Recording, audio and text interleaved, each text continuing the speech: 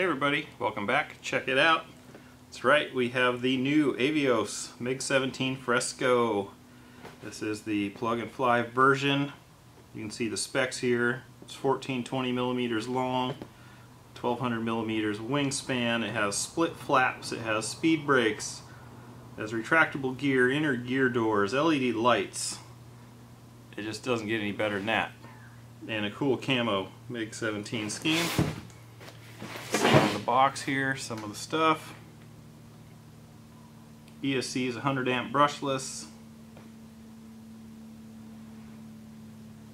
Takes 6S 5000 40C.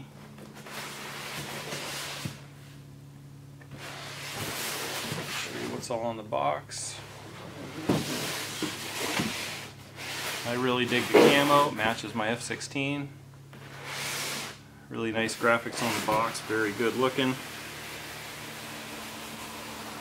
Show you how it's packaged and then we'll get into the build. So right away on the top here we have the decals. I read they were water slide decals. And then in here you can see everything is pretty well packaged.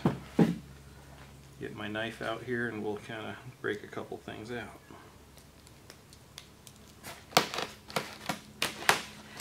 This is a 90 millimeter, I believe it is, fan. This is not a small airplane. It's going to be really cool. I'm really pumped to fly this one. Apparently the landing gear is extremely beefy. Um, should hold up to anything. So that means grass field operations will be a piece of cake. One more piece of tape here. So yeah. Let's see. Let's see the wing. It's got the little pitot tube will go in here. LED light out here on the end. Looks like everything made the trip well. Landing gear in there. So anyways, we will get these things out. Ah, tape gets me every time. There we go. Packaged very well. Here's the other wing. You'll see on the end here it has a connector for all of the servo wires to go into. Your screws will go in here. I'll show you more details when we get into it. Very free moving. Oh, these actually have hinges. Actually have hinges in them. Very nice, like pin hinges. Just can't wait to see the fuse and pump. Oh yeah. Got inner gear doors. Look at that. Look at that. That is so cool.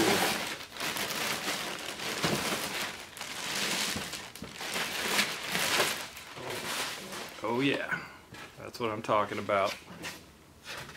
It's a little dark, sorry about that. Got a cool scale detail in there, big hatch. Even got gear doors on the nose wheel, love it. Here's where those speed brakes will be back here. Awesome, very cool. Here's those inner gear doors I was talking about. Great, alright, well I'm to get the rest of the stuff taken out of the box here and then we'll get on to the build. Can't wait. Okay, here's everything in the package. Got your big vertical rudder, your elevators, the wings. Here's a bunch of the wing fences that'll go on the wings here. You've got like pitot tubes and little guns and and cool little things. Here's all your hardware and some Velcro. One thing I want to point out here that I'm like uber impressed with so far is typical foamies just have foamy hinges. These actually have, there's like some sort of actual hinge in there. It's not that easy to see in there, but these are the freest moving things. See how they stay? These have the best hinges I've ever seen on a foamy. Look out this rudder though. Top and bottom move. Same deal, it has actual hinges. Well, I take that back. The rudder does not, by the looks of it, but the rest of them do. The wings here, the ailerons, have actual hinge hinges. You can see by how it rotates in there. Then you've got your split flaps here. The cool thing, these are even labeled flap aileron. The servo covers are labeled. Very nice. You can see that servo connection here I'm talking about.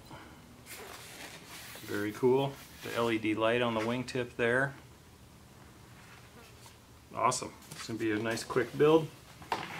Excited to get into it.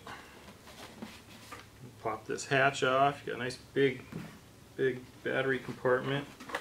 We've got a little like gear door sequencer box in here. I'll give you guys a rundown of kind of the ins and outs of things as we get to it. Make sure you get a big battery. It's got this big yellow plug. Everything is labeled for where it goes into your receiver. Yeah, pretty awesome. I'm so pumped to get this together and going. So let's get into the build. So the first thing the manual wants you to do is to glue like these pitot tubes into the wing tips, the wing fence is on. This is a gun pod or something that goes on the bottom. This is a skid that'll go on the back. Um, what I'd kind of like to start with is doing the linkages and stuff and then I'll put on all these scale bits once it's sitting on its landing gear and and do that stuff last so it doesn't get in my way. So basically all you're going to do is start getting your linkages out like for the gear doors um, the elevators, flaps, ailerons, rudder. So I'm going to get all that stuff done. Then we're going to assemble the bird, and then we'll do the scale bits from there. So it's not what the method or the manual says to do, but that's how I'm going to do it. So here we go. I'm going to get uh, some stuff laid down here so that I don't damage anything when I'm dinking around on it, and we'll start doing it, and I'll come back as I get each step done in my method. Okay, flaw in my plan. Um, obviously you got to hook it up to center all the servos before you put the linkages on, which I did. I put it on the fuse, got my receiver in there. Um, but when it's off and you put the linkages onto the servos, there's no way they stay where they're supposed to.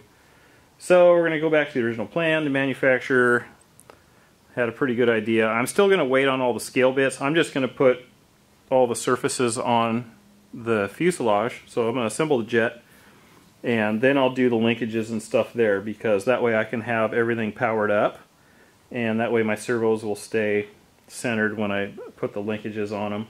Um, you can see here though on the, sorry about the light again, I'll get that a little better here, but you can see everything comes with hardware. Every bag is perfectly labeled um, and has the right amount of stuff for it pretty awesome. So like I said, I'm going to get these on there and adjusted so that I can get these neutral at neutral.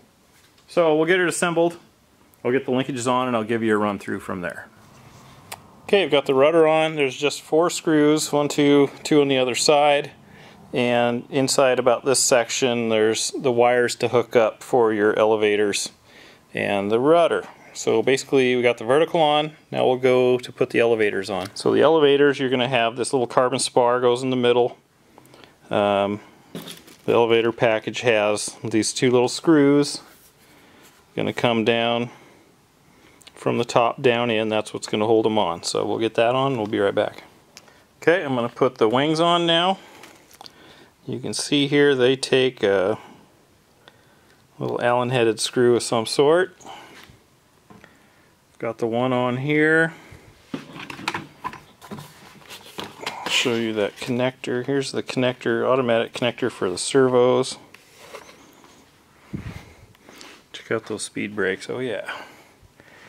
Here's where it goes on here. You can see the connector pins in there. Okay, you guys want to see something cool? You got to see this. Gear down.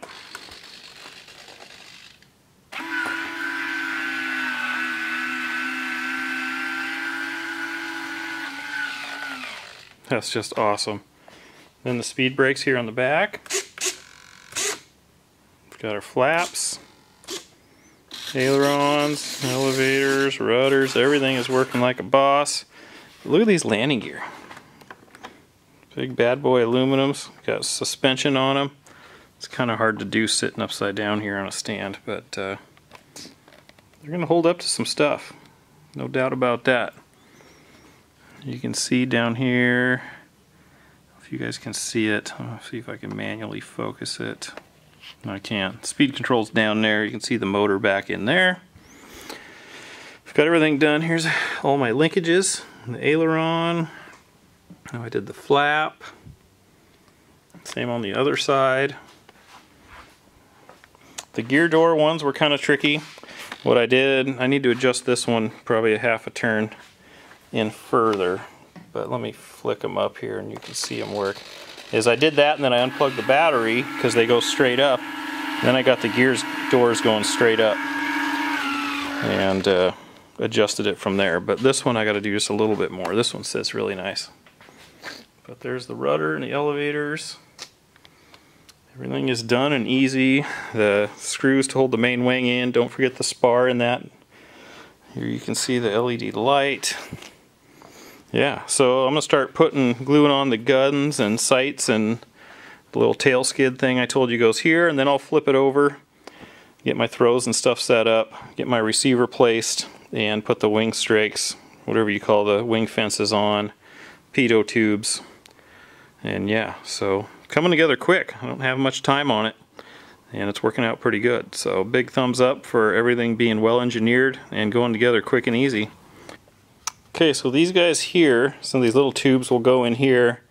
The big tube will go into that big one there, but you're gonna have to cut these off because once these are done, they will glue into these slots here. So just wanted to show you what it looked like before we went that. So we're gonna cut them off, glue the guns in. The smaller gun goes here, the medium gun goes here, and the big one goes there.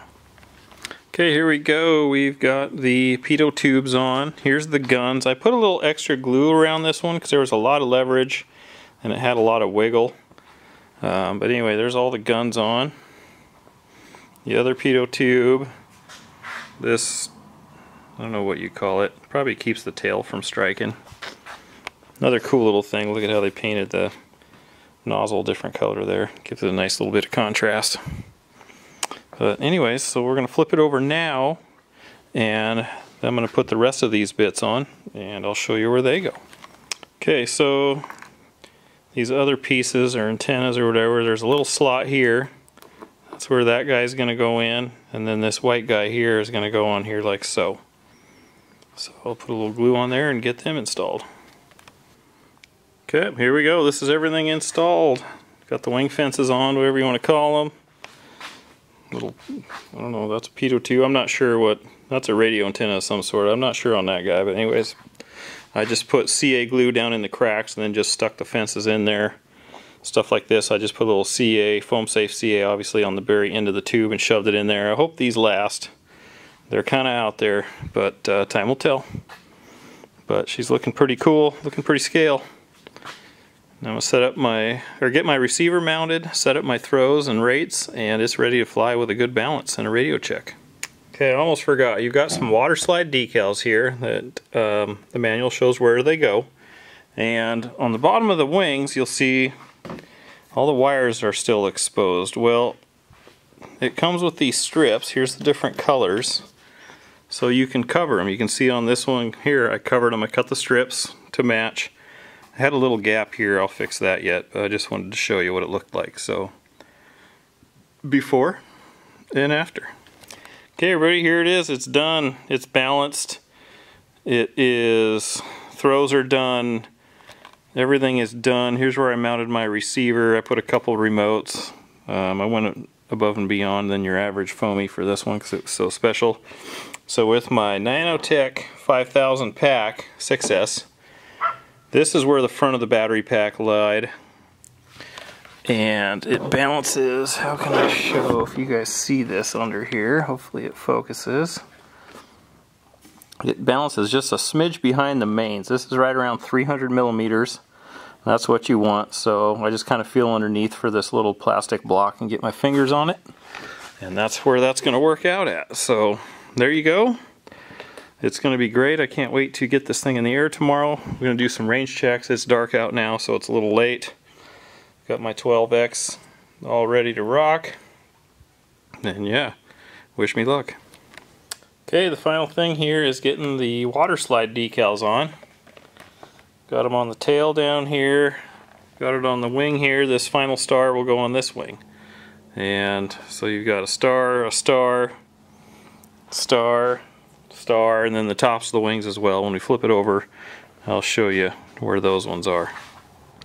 In case you've never done water slides before, it's just like it sounds. You cut them out, cut around them, put them in water. They'll shrivel up, then they'll flatten out again. Then you just hold it up in place and you just kind of kind of slide the paper out from underneath it. So you'll you'll water slide it. Okay, there you go. I just slid it off. You can see it's all wet. Now I'll just take a rag and I just kind of try to do this one-handed. Try to do this one-handed and dab it. Get dry some of the water off, but that's really about it. You can position them once you set them down. Kind of get them situated. Get the water out from underneath it. The rest of it will dry and you're golden. Okay, here we go, y'all. It's the early morning next day. GBLynden's on his way out here, just doing my morning shots. Um, yeah, it's maiden time. It's done. It's balanced. It's beautiful. Look at that, baby. Sorry about my shadow here, but it is ready to rock. So, fingers crossed everything goes off well. I'm sure it will. Look at that big wing on that thing. Just looks fast sitting there, doesn't it? So, nothing holding me back but fear. Here we go. Wow.